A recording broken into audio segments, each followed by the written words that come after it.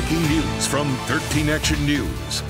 And we begin with this midday with some breaking news. Police right now still on the scene of a deadly pedestrian accident. It happened near Decatur and Tropicana, and right now Decatur is still closed in both directions. Investigators say a white van struck and killed a man. That driver also struck at least two light poles during the crash. Well, witnesses on the scene say that the driver of the van was cut off by another driver, causing him to swerve off the road.